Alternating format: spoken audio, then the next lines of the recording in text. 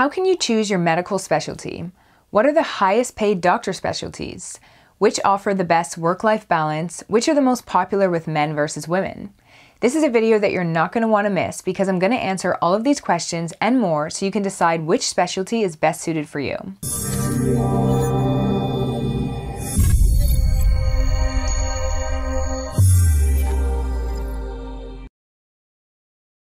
Before we get started, hi, I'm Nadine Evans, an admissions associate at BeMo Academic Consulting. Make sure you subscribe on whatever social media channel you're watching this from now so you don't miss any of our upcoming videos. If you'd like us to help you get into medical school, make sure you click on the link either above or below this video to schedule your free initial consultation. Before we get into the highest paid doctor specialties, those that are the most popular and offer the best work-life balance, check out the timestamps in the description of this video if you're looking to navigate to specific sections throughout the video. First, I want to discuss what factors you should consider in order to choose a medical specialty that's best suited for you. To start with, you'll need to think about what clinical or scientific areas you're interested in. You might find that you're interested in a specific organ system or a group of diseases. Depending on your answers, there's a large range of specialties that could be suitable, such as neurology, radiology, or even anesthesia.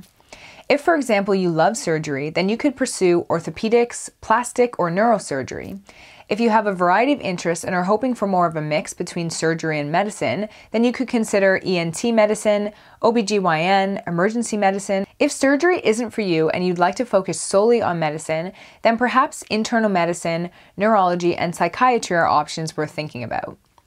When you're trying to decide on your interests, consider what type of activities you like engaging in and what kind of patient relationship you'd like to have. Internal and family medicine, for example, require long term patient relationships, whereas something like radiology and pathology have almost no patient interaction.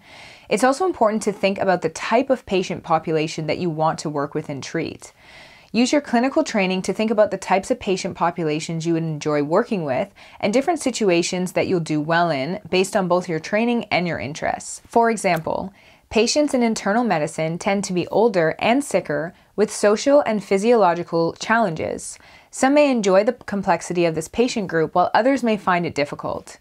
Those who choose to work in pediatrics should have a love of children and be skilled and effective at communicating and treating this group of individuals.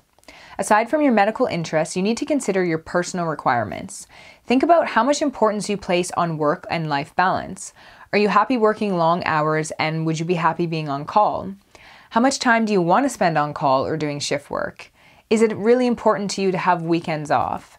And lastly, how important are your potential earnings? Students who borrowed money come out of medical school with an average debt of $200,000, which is a hefty amount of money.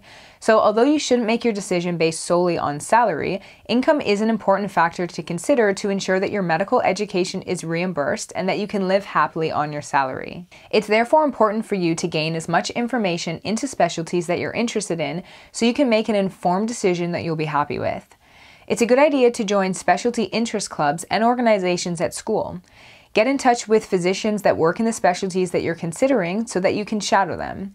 This is crucial in understanding what the day to day will be like, and it will also allow you to pick their brain during breaks to find out what they like about the specialty and what are the challenges and things that they wish they knew about the specialty before they invested in it. Finally, you need to be aware of specialty related facts such as burnout rates, salaries, vacation days, and work life balance. So, I'm going to help you with some of these, so let's get right into the top five highest paid doctor specialties. These average salaries are based on an AMA survey of more than 20,000 physicians across 29 different specialties, and the highest paying specialties are generally procedure, pay- procedure based. At number 5, we have dermatology with an average annual salary of 392,000.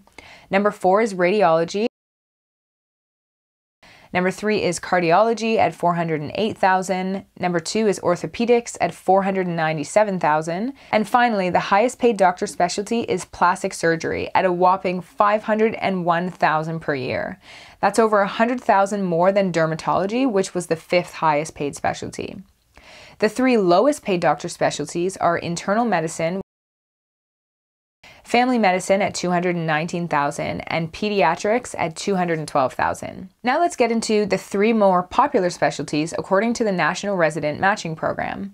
Number three is hematology and oncology, which received 788 applicants for 553 positions. Number two is pulmonary disease and critical care medicine, which received 789 applicants for 568 positions. And the most popular is cardiovascular disease, which received 1,261 applicants for 894 positions. The top five highest paid states for physician compensation are Florida at 320,000, Arkansas, Nevada, and Alabama are in the middle of Oklahoma, which is at 337,000. So, which are the best specialties for work life balance? Well, according to an AMA study with over 15,000 physician participants, these five specialties reported the lowest rates of burnouts. Physicians who chose orthopedic specialties reported 34% burnout. Ophthalmology reported 33% burnout. Pathology had 32% burnout. Dermatology had as well 32% burnout, and the specialty with the lowest burnout is plastic surgery at only 23%. If you remember, this is also the highest paying specialty, so it's an interesting connection between the two. And lastly, which specialties are more common for women versus men? According to the AAMC, women made up 82.7% of residents in obstetrics and gynecology, 73% in pediatrics, and 70% in allergy and immunology. Men, on the other hand, made up 85.1% of residents in orthopedic surgery, 82.5% of residents in neurological surgery, and 73.8% of residents in thoracic surgery. All right, so that concludes another one of our videos. Which specialty are you thinking of pursuing? Let me know in the comments section. Hopefully overall you found this video helpful, so be sure to subscribe, like, and of course leave a comment if you have any questions that I didn't cover in today's video. If you'd like us to help you get into medical school, click on the link either above or below this video to schedule your free initial consultation. Thanks again and see you next time.